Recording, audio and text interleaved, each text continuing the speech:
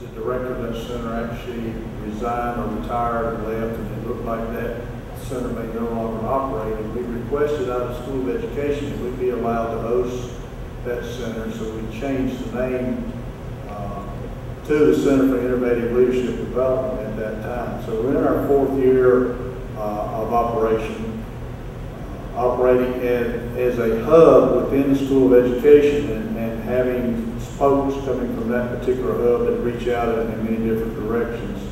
Uh, Dr. John Balls just completed his uh, doctoral studies with us. Has spent the last year here sort of a, an interim or, or part-time director of that, handling, setting up the conference and working with other projects.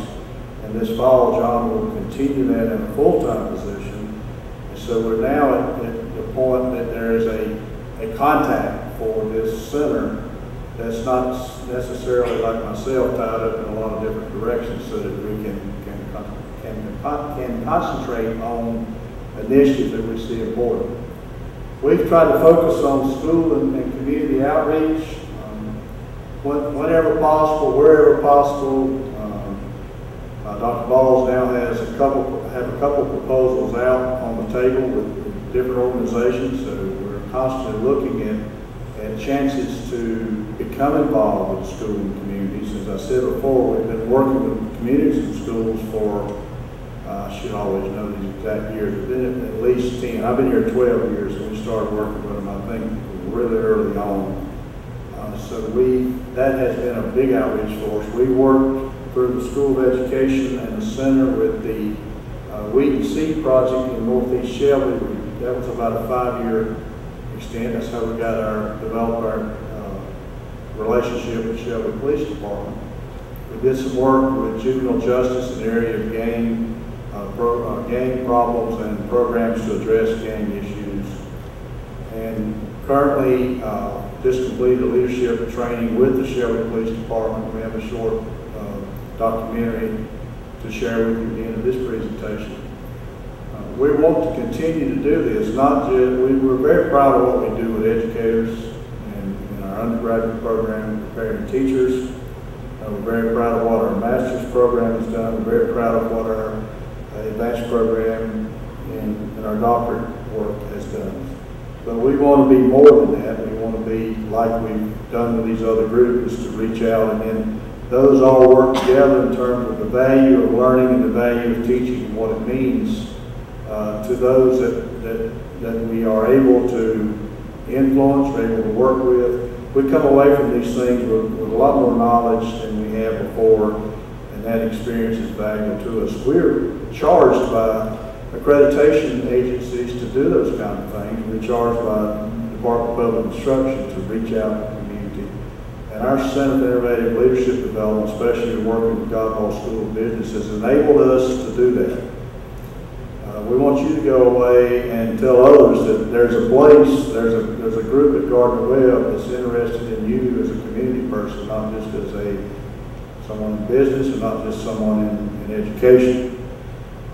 Uh, as a hub of the School of Education, is our intent that we focus on the research and the development that's there so that we become uh, a resource for those people or organizations looking for some answers.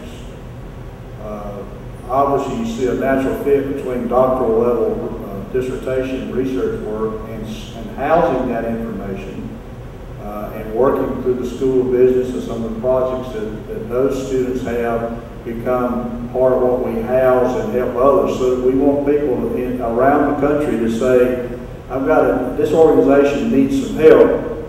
Gardner Webb University over there has, has something that might, we might need to look at.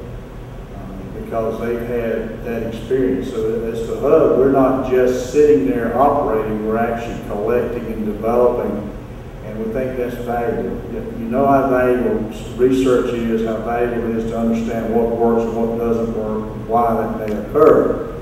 So as the hub, we have that, and, and as we expand that, we need you to contribute to that. Uh, and our collaborative with- with Godbold School of Business will continue to look at those um, opportunities. I'm going to mention a little bit later. We, we've a proposal on the table now. We hope that by next fall it starts called a doctorate in organizational leadership. That will be an an integrated, cross-curricular program. We're very dependent upon the School Business to help us with that. We're also looking at psychology and some other areas across campus, but that doctorate in organizational leadership will uh, assist those people in uh, medical field, business field.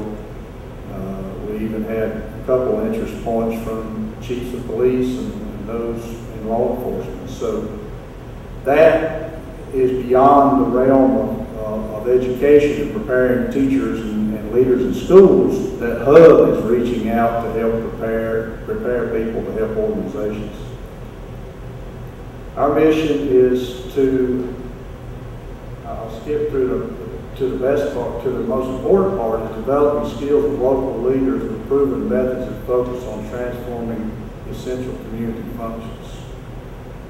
That's what I just said in the last few minutes, is that we, we're reaching out beyond uh, our comfort zone a little bit, reaching out beyond what is our normal uh, area of operation to those trying to help learn about, help contribute to the development of those leaders who make an impact communities and the societies that we live in. And I think we have an obligation to that, especially uh, as Gardner Webb uh, has as its foundation that, that, that belief and that faith initiative that, that we have a responsibility to do that. Um, If we can, can expand that opportunity, then we become better at what we do. I think that that's beneficial for us to continue to learn. We, we can stay in our operational mode as is and preparing teachers or preparing leaders and we're, and be good at that, but we'll even get better. We- We've got a session on efficacy that, that you'll hear. And as part of value added experiences as we learn uh, about ourselves and learn about what it takes for an organization to develop, we learn about how it can help schools or whatever specific area to deal with improving the results and quality of life that, that, that communities enjoy. There's no better uh, reward than going into a community and, and, and meeting people and, and knowing people and working with people. I was in Lowe's this past weekend, um, no, past week, I was gone the weekend, was in Lowe's picking up something very simple, and three people walk up and shake my hand and say, good to see you again. People that I wouldn't have known had we not been involved with a weed seed initiative and not been involved with the Shelby Police Department. Uh, because in, in some way, not because we are that good or that contributed to what happened, but we're part of that relationship that allows that organization to do some things that's impacting the lives of those people. Uh, I'll always remember our, our, doctoral students collect data for different projects. We were doing the weed seed uh, evaluation, providing data back to the, to the board that managed the weed and seed project. We went out on a Saturday morning and took our doctoral students and went door to door and just interviewed people about what was taking place in their community. Uh, and I don't think there was anybody from Cleveland County that particular cohort of students. Everyone from surrounding areas, South Carolina, Florida West, and, and wherever it may be. So they're very unfamiliar with, with Shelby and Cleveland County, and they were apprehensive about going Saturday morning and knocking on the door and saying, can I ask you a few questions? Uh, the value of that was when we came back, instead of saying, I, I hope we don't ever do that again, I said, when can we go back? When can we go back? I want to do that again. That the relationships that were built uh, were just phenomenal in terms of caring and, and getting to know a little bit about. And we had people who continued in that project beyond their requirement as, as part of that particular cohort because they had such a, a vested kind of interest in that. So that's our mission, is, is that the center becomes part of who helps those communities grow and develop. Uh, we want creative efforts, which ties into our, our speaker this morning. We want ways to, uh, to become innovative in what we do in terms of helping those the communities. When we, started working with Shelby Police Department, it's, it's probably one of the most apprehensive things I've done uh, I've been teaching forty-five years, and, but there was, a- there was some apprehension about how will I be seen by this group of law enforcement people who put their lives uh, on the line for me every day that they go to work since I live in this community. And here's a, a teacher coming to tell us, talk to us about leadership in that area. So it, we had to be creative in our, uh, how we address that or we're going to lose uh, a valuable audience. Uh, and that, that creativity was basically listening and, and understanding and, talking, communicating. You'll, you'll see some of that in our documentary. Uh, we have a lot of leaders in a lot of different areas that I think benefit from the conversation, not benefit from the fact that we know how to do that, but benefit from, from what we feel like the center's ability to, to carry on a, a conversation about what leadership really means. What we are trying to establish, and I keep referring to the police department because that's our most, uh, one of our proudest moments, is that we weren't talking about the chief, and the chief sitting in the back room. We weren't talking about improving the chief. We were talking about improving every leadership of everyone in that organization. Uh, if you come to my session this, uh, later today on excellence, we're going to talk about that concept that it's for us to be excellent and sustain that level of performance, and all of us have to take some responsibilities and leadership roles. Uh, so it's, when we say Center for Innovative Leadership Development, we're talking about everybody in the organization, not just a top brass or top position. What do we want? We want to engage community leaders, investigate strengths and opportunities, build partnerships, and establish a shared strategy for enhancing, enhancing capacity of local leaders throughout the region. So that sort of summarizes what I've been trying to talk about. Professional, personal, and career development services to local leaders. Local projects that demonstrate how individuals or school agencies are program-based. And community leadership strategies. Evaluate the results and replicate leadership development process to make what is being learned in a demonstration effort successful to more communities.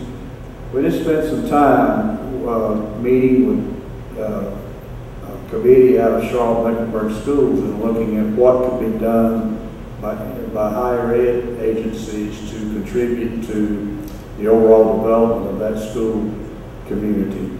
Uh, and we're in line now to do some of the things to help with these desired outcomes. Some simple things like giving an opportunity for Charlotte Mecklenburg students, uh, middle, especially middle grade students, to come to Gardner Webb and tour our campus.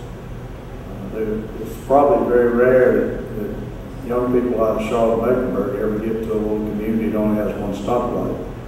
So it is a, a, an experience. You think, well, coming to Boiling Springs, what does that do for a middle grade student? Well, the student who's never seen anything but hustle and bustle gets an opportunity to see a different way, a rural way of life, and so they're excited about that possibility here. And we're in line to, to help do some, leadership development with some key people in that position. So our outcomes are, are reached when we reach out and continue to find ways to, to be a part of what those communities are.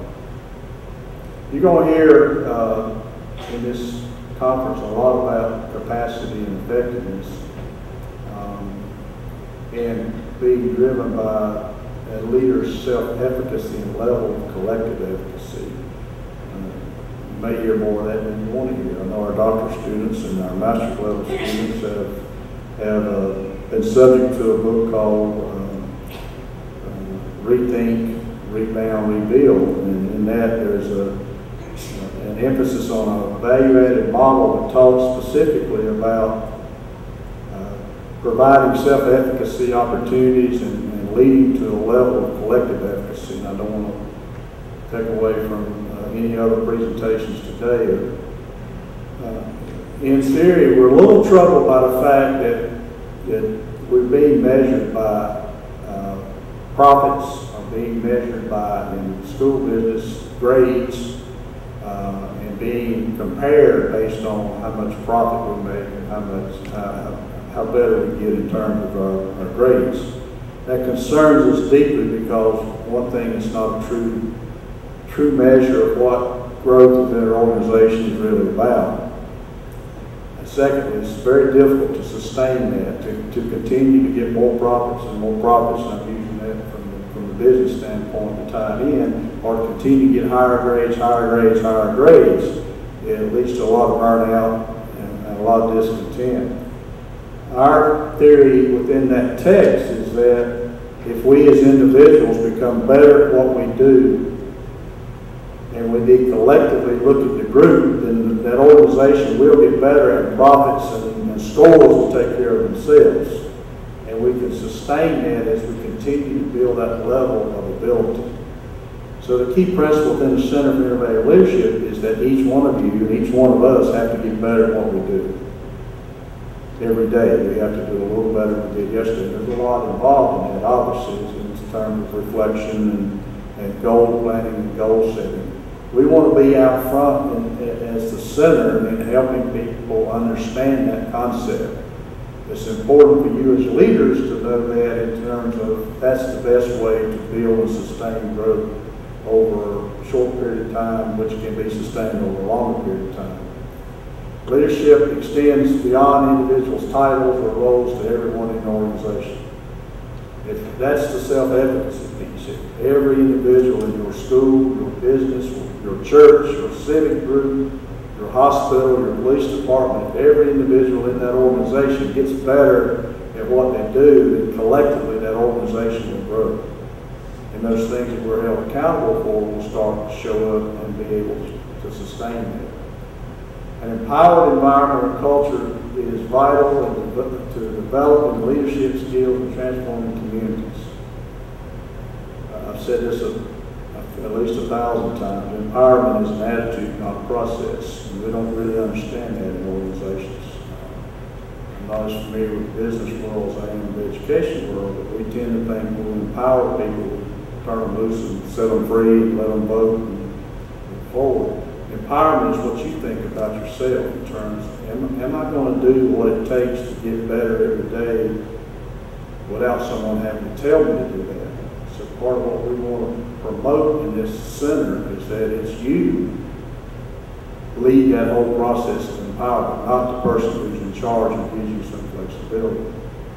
Communities must sustain intentional transformation efforts if long-term cultural changes can be achieved. We're going to talk about it in my session later this morning about what it means to sustain those particular efforts. Community transformation must be supported with sufficient organizational, intellectual, social, and human capital. Uh, that has been demonstrated as necessary to initiate and sustain efforts required for complex change. So we build our ability to think and problem solve and learn we build our ability to have strong relationships, and we build that human capital, which is that level of self-efficacy that we have better skills than we had yesterday.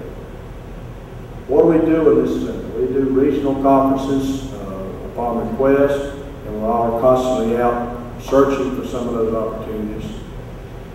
We have leadership development activities. Uh, some of that's done face-to-face, -face, a lot of that's done face-to-face. -face. We do have webinars and things that we send links out where people can view what we do, uh, what we're promoting.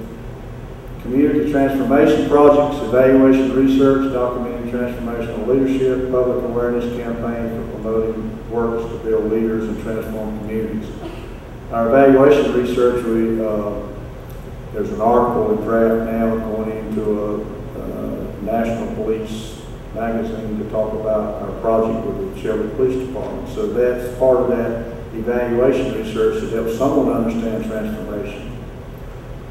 What is the future of the Center for Innovative Leadership? And, uh, I know the future for the School of Business is very bright. Uh, the, the, the minds there and the thinking and the young people and, and the, the persons involved in those programs are, are just exceptional. For, for CILD, we need more involvement it needs to be more than a two-man operation. And, and, and, while we're reaching out and building collaboration and partnerships, we still need more of you. We need you to come back and be a part of this. Uh, we need endowments. We, if, you, if there's opportunities for monies there that would help fund some activities, obviously resources is a key piece. Uh, expanded staffing, uh, you could be part of that, our full-time staff will be part of that, our adjuncts can be part of that. We're continuing looking for special projects. We're building that ability to be hub, be the hub of the school of education. The new part is we're looking for creating a center for early learning. That's in the draft stages now, but hopefully by this time next year, we have some news there. We're, we know the value of preschool, pre-kindergarten, we know the value of, of birth to kindergarten.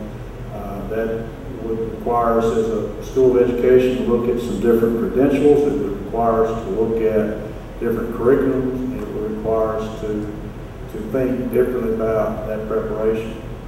I mentioned briefly the, the doctrine of organizational leadership. Uh, we, ready to move forward with, through the approval uh, persons on campus, and, and we'll be into that early fall. Uh, hopefully that can kick off by next year. I think we had, we sent out an electronic uh, interest survey on that, had a- almost 90 responses with close to 50 phone numbers and contacts, so we've got a lot of interest there. Uh, That'll, that's going to open us up to, to a lot of, lot more opportunities for, for both schools, uh, School of Business and School of Education, to be recognized in uh, areas that we typically have not been a part of, and and really uh, growing out of, say, Cleveland County into some more regional areas. So we've got interest from all over North Carolina and South Carolina. We sent our electronic link to every community college in both states and got a lot, some response from that too. Where do you fit? Uh, I need you to walk away from here saying, I'm part of the Center for Innovative Leadership Development, whether with communities and schools or from Godbold School of Business or from education or whatever. You are part of this center. Uh, and that you think in that way that this is mine, I need to use it, and I can contribute, I can continue to help it grow and develop. So that way you get involved. If there's, if there's a contact, if there's an idea, if there's a project, then come to us and let us be, let us be a part of that. Then continue to contribute to the research and learning. If there's something you want to know about, let us come in and help collect the information or data to make, to, to determine if that is valuable. Uh, If there's something that you can offer to that research and learning, certainly you can, you can do that, and you are doing that, and even in the courses you take here.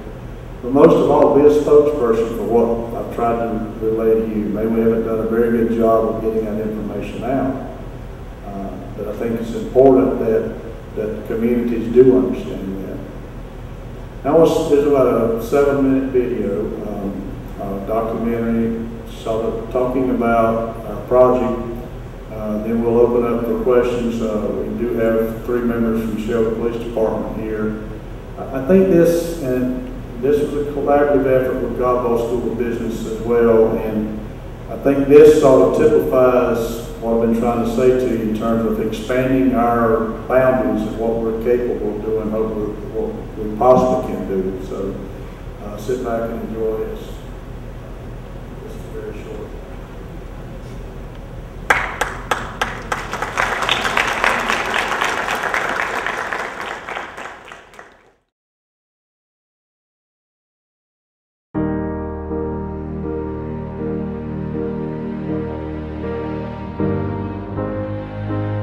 Collaboration, the act of working with someone to produce or create something, to work jointly with others or together, especially in an intellectual endeavor, to cooperate. For officers of the Shelby Police Department, the concept of collaboration is familiar. SPD implements a community oriented policing model in which they work hand in hand with citizens of Shelby, North Carolina, in an effort to proactively address the immediate conditions that give rise to public safety issues, including crime, social disorder, and fear of crime. But members of the force stepped decidedly outside of their comfort zone during much of the 2012 calendar year as they partnered with the Gardner Webb University Center for Innovative Leadership Development to undergo extensive and customized leadership training. Dr. Doug Eury is the Dean of the School of Education, and he serves as the Director for the Center for Innovative Leadership Development. We started from day one with the Shelby Police Department talking about what it meant for each individual to get better at what they do so that collectively the organization could possibly be as great as possible. As part of a comprehensive program designed for supervisors and leaders within the Shelby Police Force, participants traveled monthly to the university where they spent a day in interactive discussions on a variety of topics relevant to a wide range of organizations, yet still specific to the daily functions, duties, and challenges of the officers.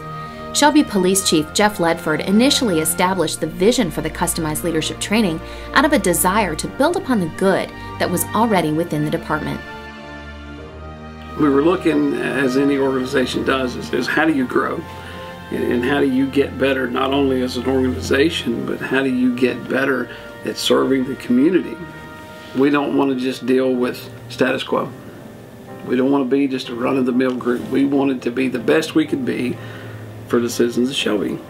And so that's what started. It wasn't anything bad, it wasn't anything wrong.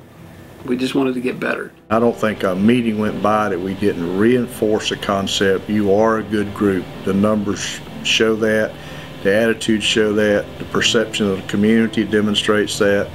So all the pieces were in place, but there is always an opportunity to transform that into something that's even better.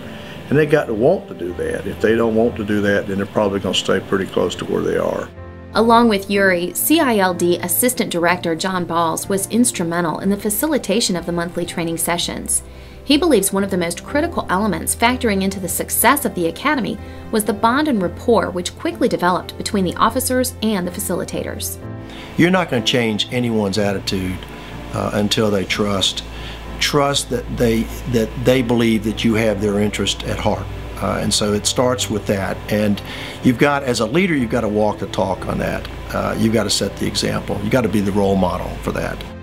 Almost immediately, Eury and Balls witnessed a new level of excitement amongst the participants. Lieutenant Shannon Price was impressed that the officers' feedback was almost immediately implemented into the curriculum they were discussing.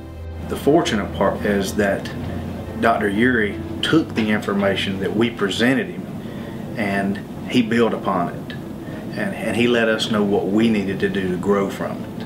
Ball said the sessions were structured in a way to offer the men and women of the force an opportunity to explore thoughts, feelings, beliefs, and attitudes in a safe place where there was room to make mistakes without compromising the mission of the department or the safety of the community. You've got to give them the latitude.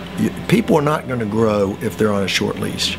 So we can afford some mistakes, but let's make sure the mistakes are low profile kinds of things. Captains Lisa Green and Rick Stafford said the entire experience was eye opening. Neither of them realized the extent to which the divisions of the department had been operating as separate entities instead of in the framework of a unified team. Traditionally, we're, we're broken up as a department into, you know, patrol division, uh, criminal investigative division, vice division, and, you know, we all work at, do a great job at, at doing our respective duties, but they definitely overlap. We're all police officers, and I think this is just a reminder to get back to we all have one mission, one focus, one goal, and that is to make the citizens of, of Shelby and Cleveland County safe. Now you're starting to see everybody pull together and everybody realize that it's about us. Mm-hmm. It's not about me or you, it's about us. And this department is about us. And this department is about the community you know and, and that's the that's the biggest accomplishment I'm I have seen is not about me but what I'm seeing take place with me and with my fellow officers. As a part of this entire process they redeveloped our mission statement. So now every leader within the organization has ownership in the mission of where we're going. It's not my mission. I didn't write it as a chief of police. I didn't come in and say this is what you're going to do. It's theirs Eury admitted that in the beginning he was nervous about the leadership training, even after agreeing to develop and present a customized program for leadership growth within the City of Shelby Police Department. My apprehension was can we get to that point? And it, it didn't take long to feel really good about that in terms of, you know, you can see it in someone's eyes if they're at least accepting it. They don't have to believe it, but they accept it. And I grew from it. We grew from it uh, in what we learned from them. And the next time we do it, I think we'll be even better at it. Overall, Chief Jeff Ledford could not be happier at the new direction and excitement he has witnessed within the force. He's already planning for a second group of supervisors, officers, and support staff to undergo specific training sessions, and he desires to continue to utilize the expertise available through the Gardner Webb Center for Innovative Leadership Development. This academy was about people, it was about communication, it was about diversity, it was about leadership, it was about you know how you you collaborate with the community. Obviously, the customer, the citizen's going to see a better outcome, I believe. Our department's going to be more efficient because of it, but we focused on who they were and not what they were. And, and I think that's where our payoff will be.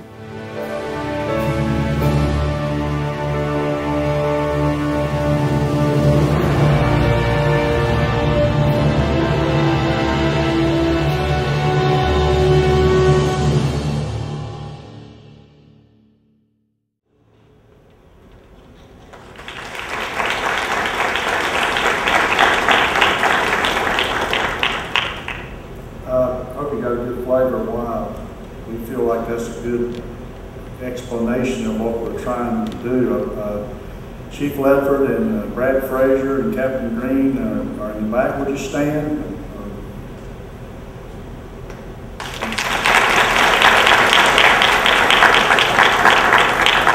And Shirley, the chief, chief took some pretty good hits in this training because he really opened himself up to, to the department, allowing, allowing them to communicate and explore ideas. He, he took some hits from other chiefs around the state who felt like he was pretty foolish to do this kind of thing. And, uh, I, I know from the comments there in, in the documentary that he, it's been a good experience. We have plans now to do phase two of that. Again, I'd like to thank uh, Nikki Bliss Carol, and Mark Hauser, if you would stand. They're part of our public relations. They put this documentary together for us. Our plans is to have this posted on our website access to that. So if you get an opportunity to share that, we'd appreciate that too. So that's my pitch for the, for the center. Are there any questions or, or comments or other experiences?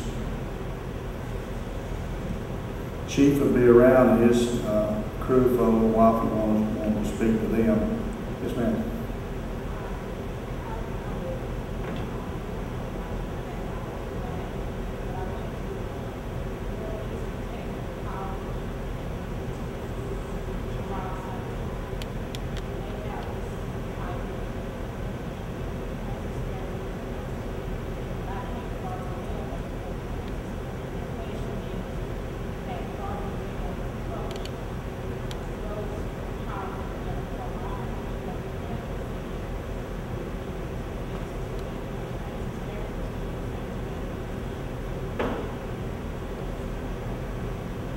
I think I understood your question. We, we do have a presence now in Asheville, as far west as Asheville, as far east as Wilmington.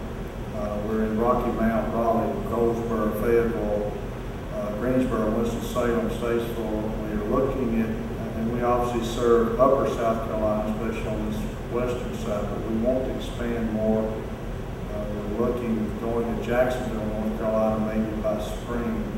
Is that, is that, is that what you're referring to, how we can reach out even further? Yes, not just not just God, whatever, but like the center for innovation, leadership, and revolution, development.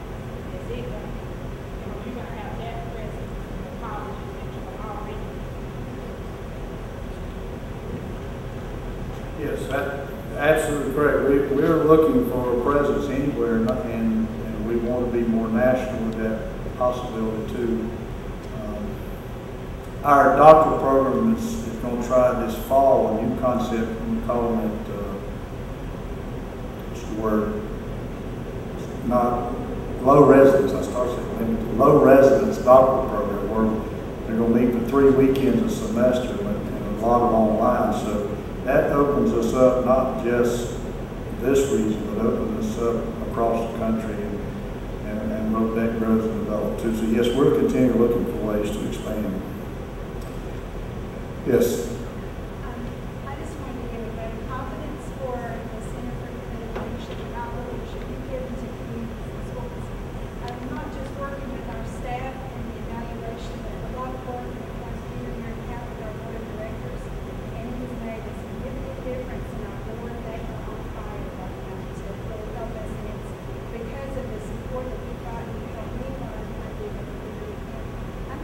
struggling, hanging on right now for the next step, but um, it's it's really exciting what's happening in our board, and that's because of the leadership. Thank you for this kind work. We're, uh, about thirty minutes ahead of schedule. What we're gonna do is give you a little social time. We hope that you'll tour all three floors, especially down in the, the bottom area with our bookstore. Time to meet each other and talk, ask us some questions. Lunch is at eleven thirty. Uh, it might be a chance to be a little bit earlier than that, but not very likely. And we're back in here at one o'clock sharp. And, uh, This wall will come down, there'll be a separate session there, and there'll be a session here at one o'clock. So be pretty, you got plenty of time for restroom break, socializing, and John. Lunch is downstairs, first floor of the terrace, eleven thirty. Lunch downstairs on the terrace on the first floor, 11:30. okay? Thank you very much.